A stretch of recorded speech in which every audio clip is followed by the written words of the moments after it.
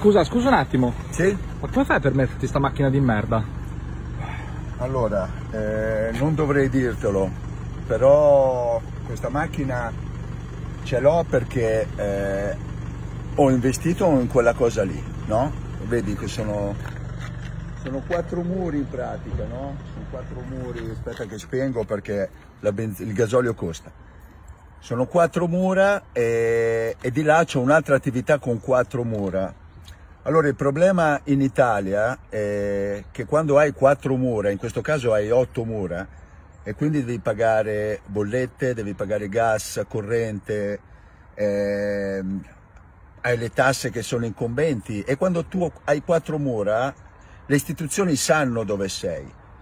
I lavori che adesso vanno bene sono quelli fuori Italia o comunque che non hanno quattro mura che abbiano un numero civico di riferimento al quale fare arrivare una raccomandata, oppure nel quale possono arrivare, che so io, 17 militi eh, una mattina della Guardia di Finanza che ti dicono che tu stai vendendo integratori con dentro degli steroidi, no? E allora praticamente ti cambia la vita, ti oscurano il sito, vai avanti anni, avvocati, vai, fai, fai fare analisi, controanalisi, salvo poi dire Porca boia, mi sa che ci siamo sbagliati, scusa. E nel frattempo ti hanno sequestrato 150.000 euro di merce che sono scadute, eh, che chiaramente non recupererai mai più perché comunque si fa in modo che non ci sia. Eh, questo è il problema. Ecco perché io ho una macchina di merda, perché ho dovuto investire nel rendermi innocente nei confronti di determinate cose.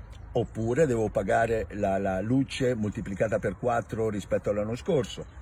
Oppure il gas moltiplicato per 5 rispetto all'anno scorso. Il problema, il problema è la mia fortuna, è quello di avere dei muri di riferimento. Mentre nella vita adesso in Italia quello che conta è quello di fare dei lavori nei quali tu aleatoriamente tu dici vuoi sapere come ho fatto? Ho fatto così ed entri in una catena, in un circuito dove tu devi mettere i soldi che entrano in contenitori non ben definiti e che probabilmente...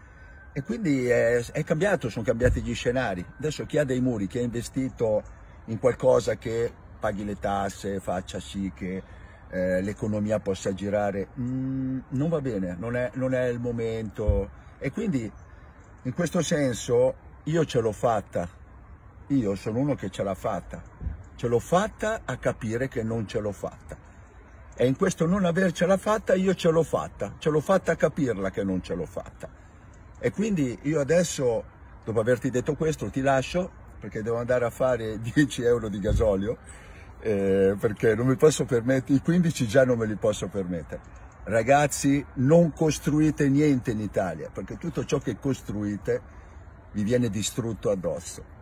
Ma c'è da dire una cosa, io questo, questa nazione non l'abbandonerò mai, perché queste sono le mie radici, qua è dove sono nato, sono cresciuto, ci sono i miei figli e ci saranno i figli dei miei figli e io su questa cosa ci scommetto ancora. Cambierà? Speriamo di sì, non tanto per me ma per voi che state ascoltando. Vado a far gasolio, poco ma vado a farlo. Grazie per la domanda. Si accenderà?